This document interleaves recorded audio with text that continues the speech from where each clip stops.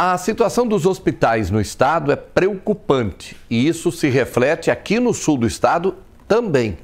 Um bebê de apenas nove dias teve que ser transferido em estado grave de Criciúma para Brusque. A cidade está sem leitos para tratamento de pacientes graves de maior complexidade. O repórter Juno César vai nos atualizar com essa informação agora. Juno. Situação preocupante e também bastante triste, viu? Aqui no sul do estado não há mais vagas de leito de UTI neonatal.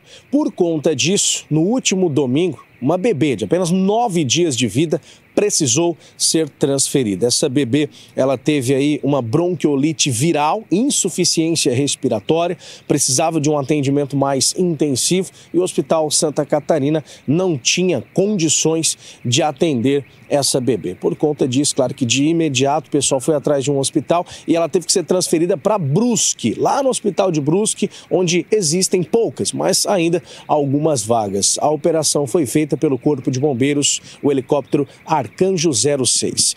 E é uma situação que não é isolada aqui do sul do estado. Eu tenho as informações, a nossa produção foi atrás. Vamos dar um panorama em Santa Catarina para você ter uma ideia. Olha só, no Grande Oeste, as UTIs neonatais estão com 85% da ocupação.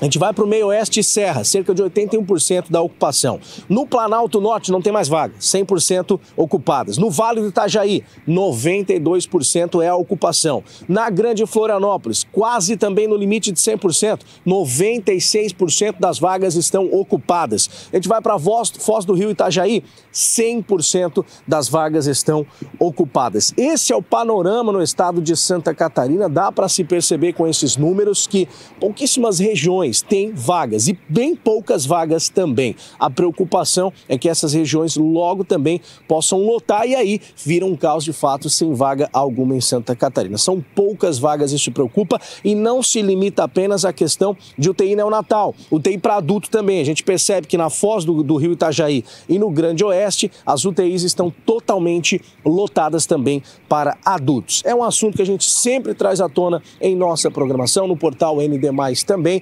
E claro que agora a gente fica aguardando uma solução em relação às autoridades e continua acompanhando de perto esse caso, esse importante assunto. Agora voltamos ao estúdio.